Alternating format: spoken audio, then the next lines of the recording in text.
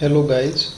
Welcome to PRB TV today I want to show how we can print or use Unicode or UTF characters in Eclipse. Uh, let's see by example. Mm, I have this project data type demo and inside package data type.demo where the main class. And inside main method. I'm gonna write some code. Just like character c equal to 95 97 okay. Now I want to print this by this command. And as expected the output will be a because the code of a is 97 uh, as you know this character data type take 2 byte of memory. So in java uh, character is 16 bit unsigned integer. Therefore uh, we can assign values from 0 to 65535 therefore we can assign any integer value up to this range in character variable. So I am trying multiple values uh, here.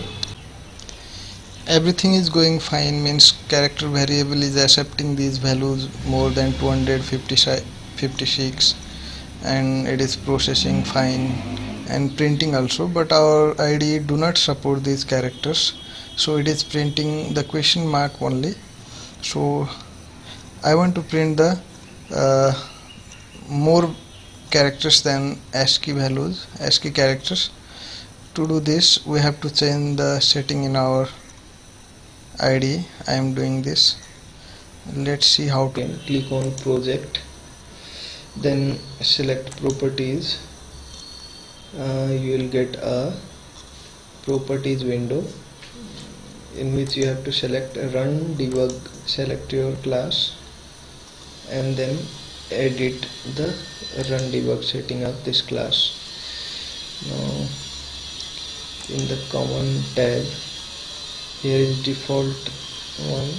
Encoding is default. You can change this um, by this drop down and we can use this UTF code here okay. Mm, apply. Okay.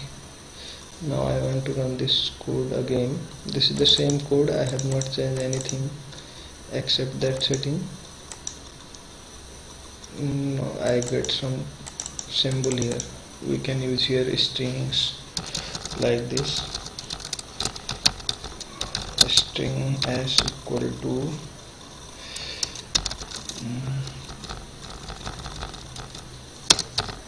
now I will change my keyboard setting from here. Hindi.